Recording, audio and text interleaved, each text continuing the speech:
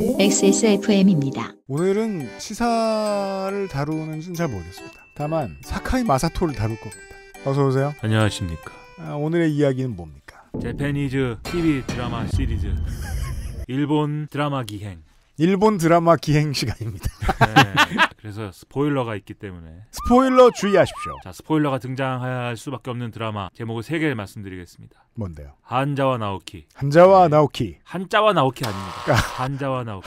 한자를 배우는 나오키의 이야기가 아닙니다. 한자 네. 나오키가 한 명 이름이에요? 그, 그, 그렇죠. 한자하고 나오키가 아닙니다. 아 저는 한자하고 나오키인 줄 한자와. 씨는 나오키의 이야기예요. 네. 아, 그럼 드라마 제목이 그냥 사람 이름이네요? 그렇죠. 뭐 김민하 이거네요. 네. 그냥? 그렇습니다. 네.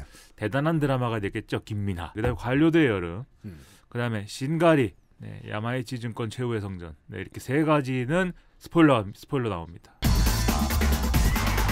저는 드라마를 별로 보, 지 않아요. 일본 드라마 특히 보지 않아요. 무슨 소리야? 아니 나가. 그럼 오늘 할 말이 없다는 거 아닙니까?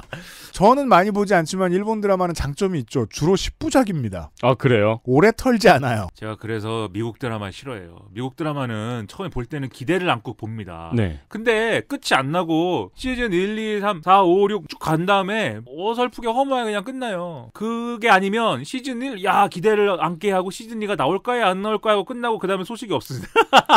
이 미국 드라마는 그래서 기대를 충족시키지 못하고 항상 아쉬움이 남아서 미국 드라마 싫고. 네. 근데 오늘은 일본 드라마 얘기하지 않나요? 그렇죠. 빨리 일본 해요. 드라마. 한자 보지도 않는. 일본 드라마. 예.